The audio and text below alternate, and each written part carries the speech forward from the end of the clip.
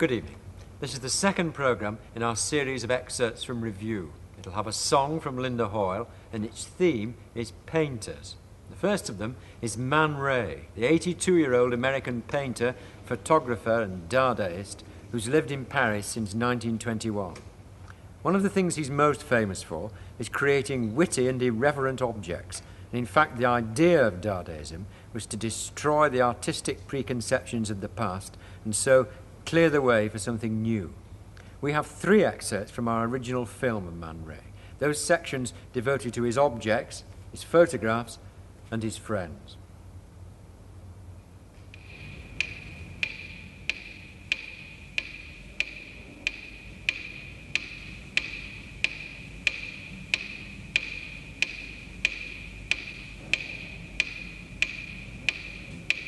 Everything I do has a sense, has a meaning. And if you don't get it, I can tell you what it is, that much.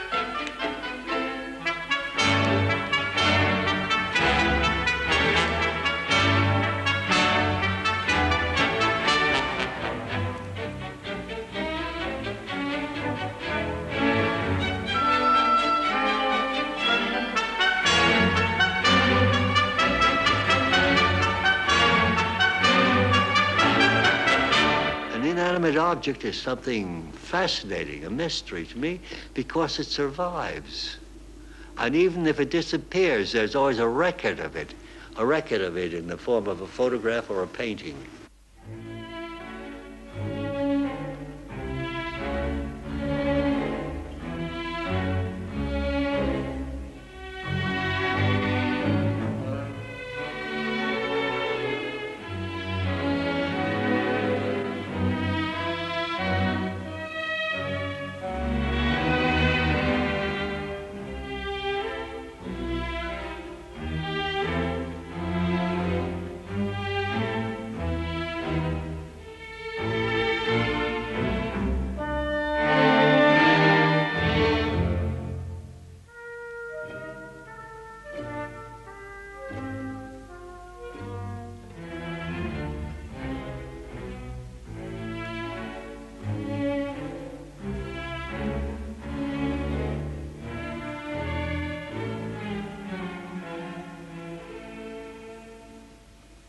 An object is a result of looking at something which in itself has no quality or charm.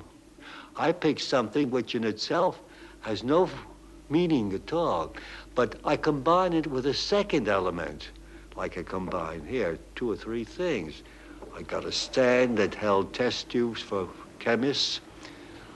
I had a piece of plastic tubing, and the holes in this and the length of the tubing suggests the composition that I'm going to make. And then there were little uh, concave hollows in the bottom of this stand, so I had to fill them up so. So I thought, well, marbles would be the thing. It's always a, a very visual and logical project that makes me do the object. I disregard completely the aesthetic quality of the object. I'm against craftsmanship. I say the world is full of wonderful craftsmen, but there are very few practical dreamers. In the early days in Paris, when I first came over, and I passed by a hardware shop and I saw a flat iron in the window, I said, There's an object which is almost invisible. Maybe I could do something with that. What could I do? Is to add something in it that was provocative. So I got a box of tacks. I glued on a row of tacks to it to make it useless, as I thought. But nothing is really useless. You can always find a useless, even for the most extravagant object. Everyone interprets that object of mine to suit themselves, even if they don't know the title. If they uh, accept the title with the object, they're a little bit bewildered sometimes. But I think that's wonderful. It should remain a mystery. Mystery should not always be solved. I've never been able to finish a detective story because I don't give a hang who was the murderer. No, no, it doesn't interest me at all. It's the process, the mental process that's involved that interests me. You see, when I painted a loaf of bread blue, Charlie, the idea of a title came to me immediately and almost automatically in French, pain peint, painted bread, because it sounds also like the kids running down the street after a fire engine and imitating the sound of the, uh, of the siren, pam, pam, pam, pam, pam, pam, you know?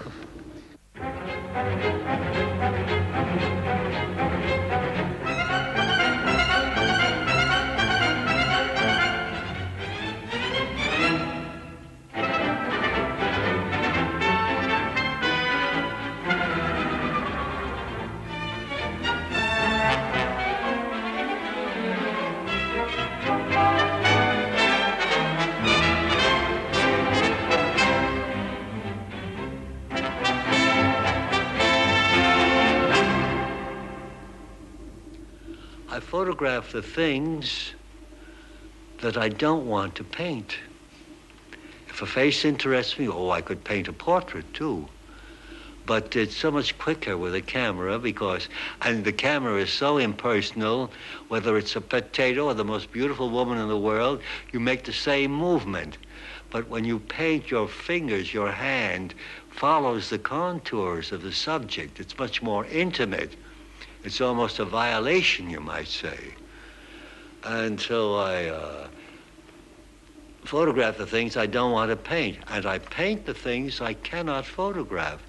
Something of my imagination or the subconscious impulse or a dream. That is reserved for painting or drawing. there's one advantage about photographing a, a painter. He accepts what I do, whereas the average run of sitters are always disappointed. Mostly are, especially men, more so than women. I found out that you can satisfy, please any woman if you make her look young and beautiful, she properly made up and properly lit. I once photographed Lady Cunard. She ran around bringing people to me, even the uh, uh, head waiter of the Ritz Hotel to photograph him as being one of the most important men in Europe, one of the greatest diplomats. He knew which people to put together at tables and whom to keep apart. And he would be very useful for me.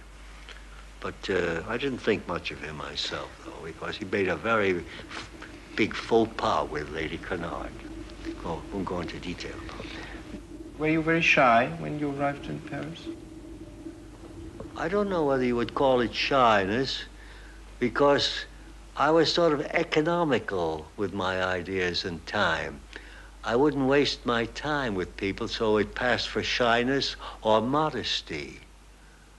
I was I don't think I was either of them because I made a point of knowing the people who interested me. When I first met Braque or Picasso, I made a point of knowing them, getting familiar with them visiting them. They came to my studio. I invited them to sit for portraits. And the whole human being came out there and then, you see. Their awkwardness in front of me, I felt like a doctor, except that they came to me when they thought they were at their best, not sick. And I felt a certain power as a photographer then. And that's what fascinated me in photography, especially, was the human face, the human reactions. Some would come and thought that they had to pose and look very uh, impressive, like I photographed Schoenberg once. They brought him around when he's coming through Paris. And he came with a celluloid collar in those days, in the 20, and a ready-made tie. He, I said, and he sat in front of me very stiffly, like in an old 1900 photograph, you know. I took out a black silk scarf and I put it around him where his face was absolutely isolated. And the background, everything was black. I just got the face. This is going to be a permanent picture of Schoenberg. Because for years now, starting in New York, Stieglitz and Steichen, the great photographers, they all tried to make photography accepted on the same level as the other arts. But you couldn't. In the 19th century, the painters hated photography except a few, but they did it secretly, like Toulouse-Lautrec or Degas, and used it in their painting. Even Ingres, after his death, they found a whole series of daguerreotypes of nude. And Derain, the painter, used to send me his models to do nudes. He worked from the photographs. Because when he worked from the model directly, as one model came to pose for me said, he has a very peculiar way of painting. I, I don't stand in front of him. He sits, I, I sit on his lap, and he puts his arm around me and paints with his right hand. He seems he should have been a sculptor, not a painter.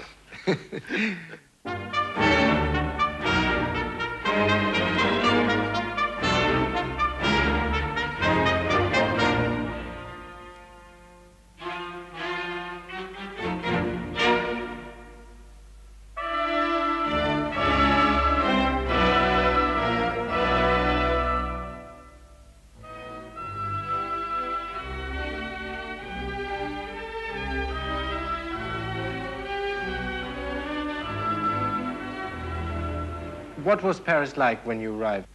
Oh, it was, for me, it was a new world. I didn't speak a word of French when I came here in 21. And I felt like a newborn baby after my struggles in America and rejections from the galleries and collectors. I was immediately introduced to the whole avant-garde group, the Dadaists at the time, who were the same people who became surrealists later on, you know. But from the very first day, Duchamp was already in Paris for a few days, for a few weeks, I suppose. And he took me around and he brought me to the cafes where I first met everybody. And they were so nice. And as I say, what I always wanted is to be accepted, not understood. First, to be accepted. They gave all their confidence in me. I don't think I got many ideas from them, or I think I gave them as many as I got from them. There was an exchange going on all the time. That was what the contact was so important. Looking back, I always have the feeling that the, the 20s and the 30s and the Dada movement and the Surrealist movement, it, there was a, it was a great deal of fun. No, not at the time. People just look back to it and think it's a marvelous period, romantic and all that sort of thing. But no, it was very tense. It was very bitter, and there was no humor in it. But what we did was really uh, to upset things, you know, but subconsciously to clear the way, as I said before, for something new which we didn't know yet what it might be. I always feel that a creator, a painter or a sculptor, whatever he does, does not work for other painters or sculptors. He works for those who do not paint. And they should accept him because they have no choice in the matter. What are the seem to be the tricks of today will be the truths of tomorrow. I tell my pupils when they ask you, how do you become original? How do you become successful? It's easy. I say, just be yourself and you will be original. Nobody will mistake your face for somebody else's face. We're all different in that sense. I'm interested in the differences between people, not the similarities. When I see a ballet and I, or a dance on the television, I'm outraged when I see two people doing the same thing. That they can keep in step together. They're regimented. I say they should go into the army then. What are you doing now? Resting. Is that all? I'm trying not to work. Oh, I'm doing something now, all right, but as I say, uh, the, the little note on the back of my catalog, I have never painted a re recent picture. I really mean I don't show a recent picture. If I'm doing anything now, it'll probably be shown maybe five or ten years from now, even if I'm not here. Are you concerned about posterity? Not at all. I wish my things would disappear with me. I want to leave. I have an old Dada feeling that we must clear the fields for something new, although we don't know exactly what it may be. And the future will probably give us things which, if we saw, if we could see them today, we wouldn't understand nor accept either.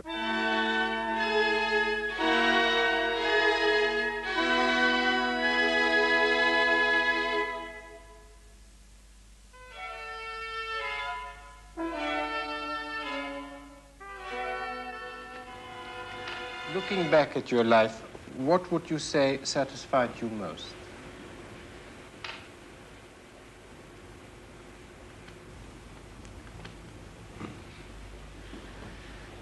I think women.